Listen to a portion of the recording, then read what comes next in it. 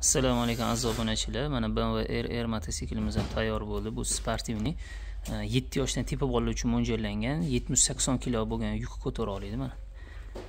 Oldi ko'rinishlarini ko'rsatib o'taman mana oldilari ham moshina qilib ishlangan. Balonlari e, rezina balon yurganda ovozlar chiqmaydi. Balonlarda опорный diskalari alyuminiy qilingan. E, настоящий mana bunaqa tormozlar bor kolodkali rul orqali mana bu tormozlar bor rulda tormoz beriladi. Hop mana yon ko'rinishi.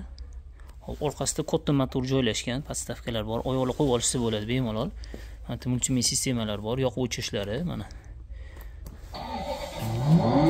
Ovozlar. Ovozlari ham kuchli mo'shniy chiqadi. Hop multimedia sistemasi fleshka ham qo'yishsa bo'ladi. Svetlarni yoqib o'chirishlari signallargacha bor. Signallari ham bor. Tablolari mana rullari спортивный ham bitta gazlari bor mana. Aylantirganda yuradi. Mana yon ko'rinishlari. Mana gulishtilli qilib ishlangan mana.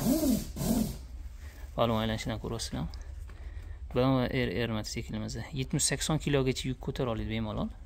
Yetti yoshdan tepa bolalar uchun mo'ljallangan mana orqa ko'rinishini ko'rsatib o'taman. Gulishtilli qilib ishlangan moshina qilib ishlangan.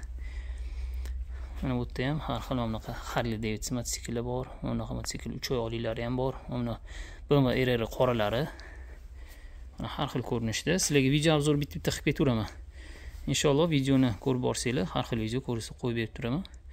Ko'rib turasizlar kvadrotsikl ham bor shunaqa zakaz bersanglar ham bo'ladi kvadrotsikl mana tepalarda har xil mototsikllargacha bor. Mana gunchilar ham bor bunaqa katta yuz kilogacha bo'lgan ko'taradigan sakson yuz kilogacha. Mototsiklimiz tayyor bo'ldi bu.